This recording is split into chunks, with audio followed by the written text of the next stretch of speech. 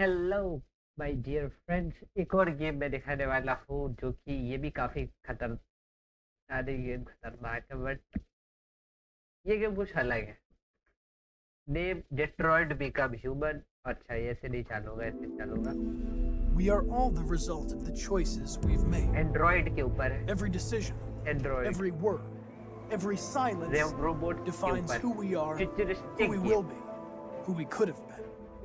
You can choose to live with your head down, stay in line, obey orders, and become who everybody wants you to be.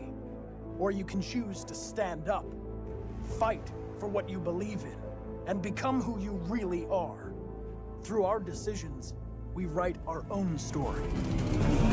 I don't know इस game की क्या story है but मैंने YouTube पे shorts देखे हैं इसके final mission Now it's जो कि time काफी to मुझे make my choices, लगा to decide who I will be.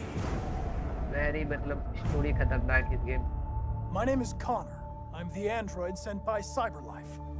My mission is to stop the deviants. That's what I was designed to be. But what I do now is up to you. Detroit भी का भी human मुझे Detroit का हिंदी सही बात हो तो नहीं पता Peggy Game खतरनाक 18. I the only thing know this game is a dangerous dangerous game. है डेमो भी है डेमो में खेलूँगा ज़रूर खेलूँगा।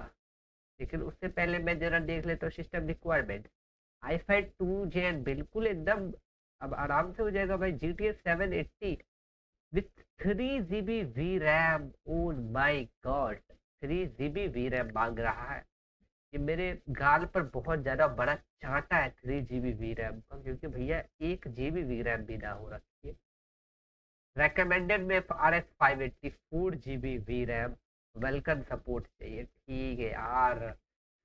अरे कब मेरी पीसी है ना, पूरी हो चलो कोई बात नहीं पीसी तू बढ़िया कर रहा है ना, बढ़िया कर रहा है वैसे में भी ठीक है ना तो ठीक है, मैं चलता हूँ।